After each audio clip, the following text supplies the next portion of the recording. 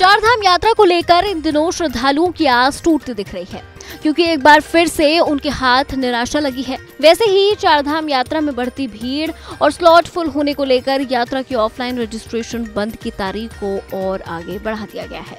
यानी कि अब ऑफलाइन रजिस्ट्रेशन 31 मई तक के लिए बंद कर दिया गया है।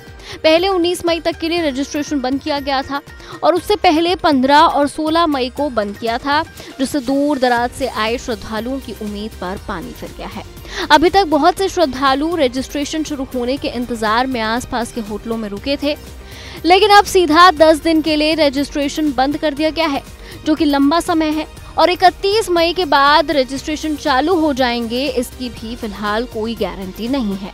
पर्यटन विभाग की ओर से स्लॉट फुल होने को लेकर ये फैसला लिया गया है। वैसे तो अब तक 25 लाख से ज़्यादा श्रद्धालु रजिस्ट्रेशन करा चुके हैं। आपको बता दें कि यात्रा के लिए हरिद्वार में भी 20 काउंटर बनाए गए थे। इसी को लेकर मुख्यमंत्री पुष्कर सिंह धामी ने अधिकारियों के साथ यात्रा को लेकर बैठक की, जिसमें उन्होंने चार धाम व्यवस्था को दुरुस्त करने और बिजली, पानी की व्यवस्था को लेकर दिशा निर्देश दिए हैं। इस बार यात्रा में बहुत अत्यधिक श्रद्धालुओं का और तीर्थयात्रियों का आना हो रहा है।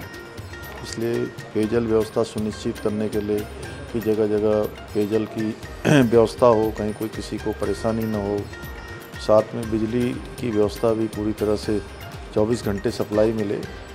और अन्य जो हमारे अतिवृष्टि है या स्वास्थ्य की सेवाएँ हैं, उन सभी पर आज हमने समीक्षा की है।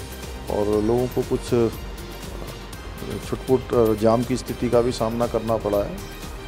तो इसलिए अभी ये तय किया है कि 31 मई तक ऑफलाइन रजिस्ट्रेशन नहीं होगा।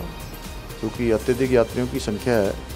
और जो जिन्होंने ऑनलाइन रजिस्ट्रेशन किया है, अभी वही यात्रा कर पाएँगे। और 31 मई के बाद यात्रा व्यवस्थित होगी तो आगे का फिर उसके हिसाब से नियोजन करेंगे।